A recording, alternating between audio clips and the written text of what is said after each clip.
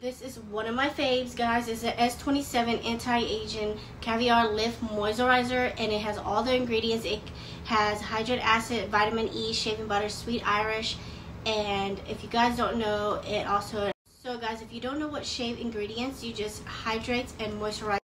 Guys, if you hydrate... So guys, if you don't know what the shave ingredients is, it hydrates and moisturizes your skin. As for Sweet Irish, it also softens your skin and also it has amazing, amazing for in this bottle. So this baby is a blush moisturizer gel. It's also very clear and also it doesn't smell. It's really soft on my skin. It feels so good on my skin and actually to be honest, my face feels so natural. It looks so really good. A natural plump, really soft and clear.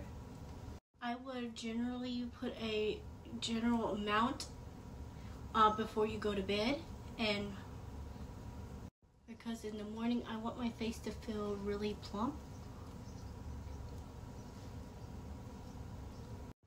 for after using this for a month. I really am loving the results.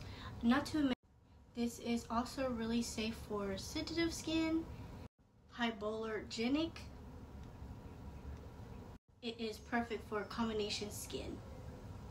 And I also really enjoy trying out I've been really been taking really care of my skin and also I do recommend you trying out this product. It is called the Spoiled Child. I definitely can see myself trying this out for a long, long time. So I also enjoy using this. Um, and also I highly, highly recommend you trying this. And this moisturizer is amazing. It my skin does feel more lifted and uh, the moisturizer and made my skin feel just so soft. I enjoy using this product and I highly recommend you trying it out and see for yourself. I have it linked down below.